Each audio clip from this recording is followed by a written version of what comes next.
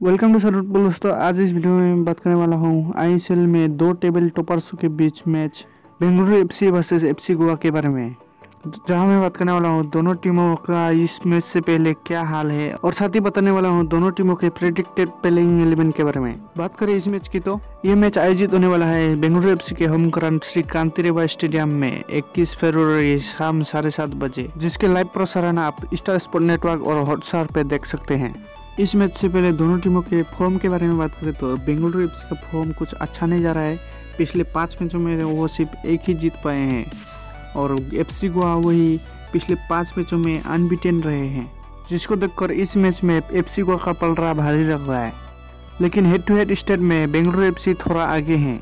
दोनों टीमें आपस में तीन बार भिड़ चुके हैं, जहाँ बेंगलुरु एफसी ने दो बार जीते हैं और एफसी गोवा ने एक बार जीते हैं। कोई भी मैच ड्रॉ में खत्म नहीं हुआ है, जिसको देखकर पता चल रहा है कि इस मैच में भी कोई ना कोई विनर निकलेगा जिससे डिसाइड होगा कि टेबल के नंबर वन पोजीशन पे कौन रहेंगे। फ़िलहाल दोनों ही टीमें 31 पॉइंट पे है, लेकिन बेंगलुरु एफसी गोल डिफेंस के तहत दूसरे नंबर पर है। दोनों ही टीमें इस मैच को जीतकर टेबल के टॉप पर जाना चाहेंगे। अब बात करते हैं दोनों टीमों के प्रेडिक्टेड प्लेइंग इलेवन के बारे में। बेंगलुरु एफसी इस मैच में four two three one formation से खेल सकते हैं। गोल में रहेंगे गुरप्रीत सिंह संधू डिफेंस में रिनो आंतो, राहुल बेके जुआनान और निशु कुमार। दो डिफेंसिव मिडफील्डर होंगे हरमनजोत खाबरा और डिमास डेलगाडो वही सिस्को दिखेंगे अटैकिंग मिडफील्ड के रोल में।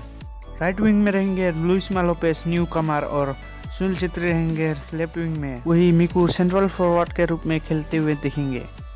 अल्बर्ट शरण इस मैच में खेल नहीं पाएँगे क्योंकि उनके नाम चार येलो कार्ड हो चुके हैं। वही एरिक पार्तलू चोट के चलते आईएसएल से बाहर हो चुके हैं। सब्सिट्यूट बेंच से आ सकते हैं उदांता किन लुइस एडमंड लारेंडिका और बोईथंग हाउकेप वही बात करें एफसी गोवा के प्लेइंग एलेवन के बारे में तो एफसी गोवा के लिए फुल स्क्वाड अवेलेबल रहेंगे इस मैच के लिए। वे भी फोर थ्री टू वन के फॉर्मेशन में खेलते हुए दिखेंगे।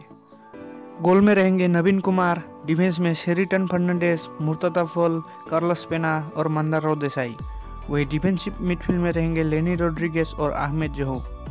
दोनों विंग्सों में रहेंगे जकी चाँद और ब्रेंडन फर्नांडेस वही एटिकिंग मिडफील्ड के रोल में दिखेंगे एडू बिडिया और उनके सामने रहेंगे फेरान कोरोमिनास।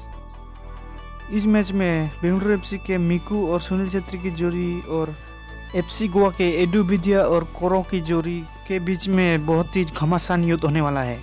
तो दोस्तों, आपके अनुसार इस मैच को कौन जीत पाएगा?